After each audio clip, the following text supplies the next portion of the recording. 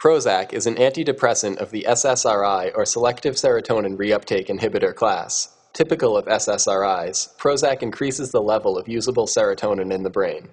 High levels of serotonin are correlated with good moods, as serotonin is largely responsible for mood regulation. But sometimes, moods can suffer if serotonin levels are too low. This animation shows how Prozac inhibits the reuptake of serotonin, thus yielding more usable serotonin for receptor binding. Prozac's active mechanism is found within neurons, our brain's cells. Neurotransmitters, like serotonin, are the chemicals that make communication between these cells possible. This communication takes place in the spaces between neurons known as synapses. This scene shows a presynaptic neuron on top, a postsynaptic neuron below, and the gap of synaptic space in between. The three proteins essential to serotonin's mechanism are shown in yellow, while the neuron's other proteins are rendered less prominently. In its uninhibited mechanism, serotonin moves circuitously from the presynaptic vesicle to the postsynaptic receptor protein where it temporarily binds. Excess serotonin is either deactivated at the synapse by metabolizing enzymes such as monoamine oxidase or retaken back through the serotonin transporter reuptake protein as highlighted here.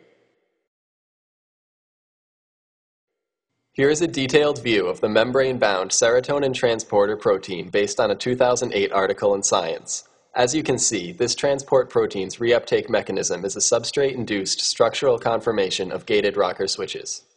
In stage A, the outward-facing open conformation is ready to receive the substrate. In stage B, or the outward-facing occluded conformation, the substrate is bound to the primary binding site and the external gate closes. In stage C, Closure of the external gate promotes the inward-facing occluded conformation, and in stage D, the inward-facing conformation opens its gate for substrate release. This conformation is hypothetical. During uninhibited serotonin reuptake, serotonin moves through the transport protein's gated rocker switches smoothly. This is Prozac, a small chiral molecule. Once Prozac locates and binds to the presynaptic reuptake protein, the protein's gating mechanism is disabled and no longer able to transport serotonin. Returning to the detailed view of the reuptake protein, Prozac's disabling effects are clear. Serotonin molecules are denied entrance and the gating mechanism cannot proceed.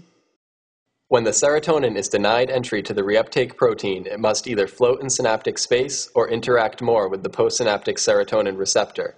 The more time serotonin molecules spend in these states, the more significant Prozac's antidepressant effects.